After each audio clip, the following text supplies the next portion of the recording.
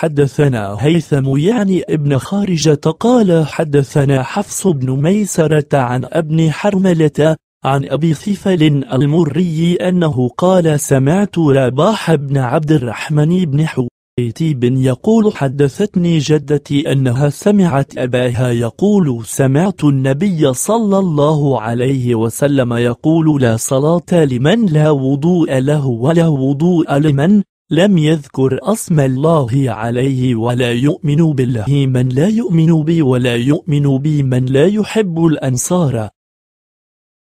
حدثنا يونس حدثنا أبو معشر عن عبد الرحمن بن حرملة عن أبي ثفال المري عن رباح بن عبد الرحمن بن حويطب عن جدته قالت سمعت رسول الله صلى الله عليه وسلم يقول لا يؤمن بالله من لم يؤمن بي ولم يؤمن بي من لا يحب الأنصار ولا صلاة لمن لا وضوء له ولا وضوء لمن لم يذكر اسم الله عليه.